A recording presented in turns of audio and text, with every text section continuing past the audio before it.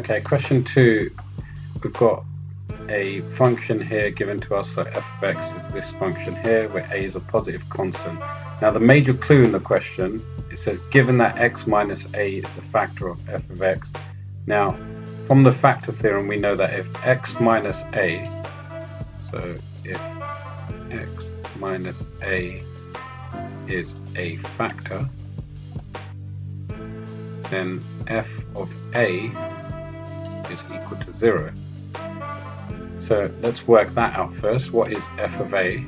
f of a will be 4a cubed plus 5a squared minus 10a plus 4a.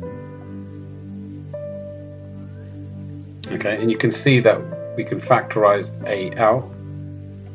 So if we factorize that out, we get 4a squared plus 5a minus 10 plus 4 and that simplifies down to a bracket 4a squared plus 5a then minus 10 plus 4 gives us a minus 6 and that all of these equal to 0 so we've proved what which needed to be found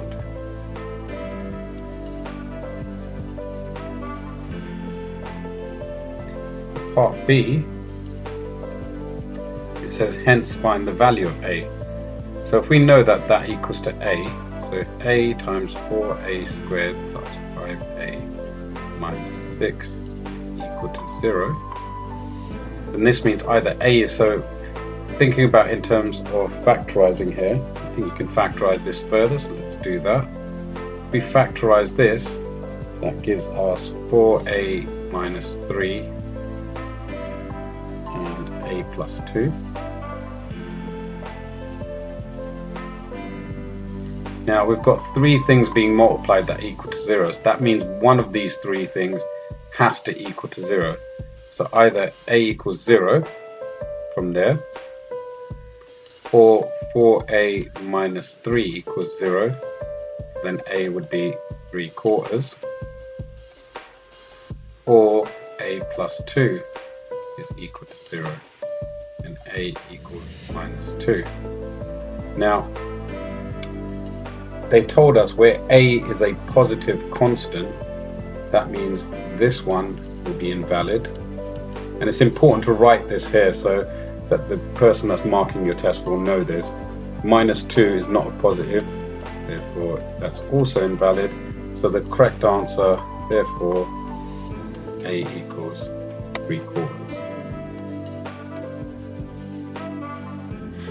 And then finally for part 2 of B,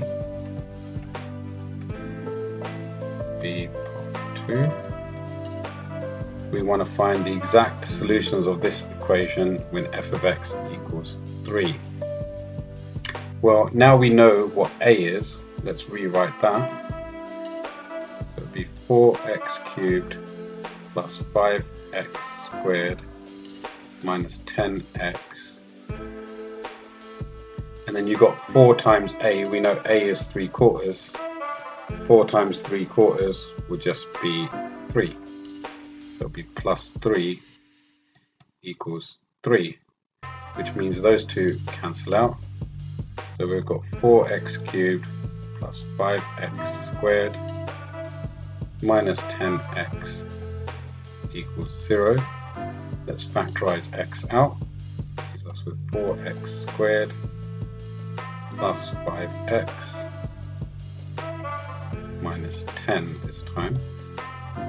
And that equals to 0 so from here we can see that either x equals 0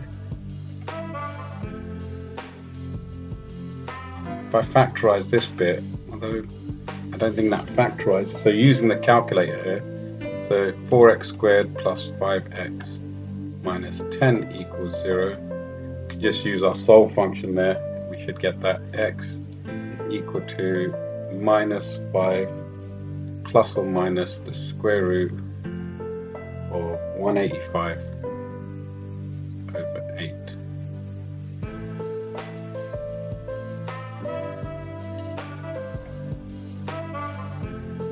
And all of those answers are valid.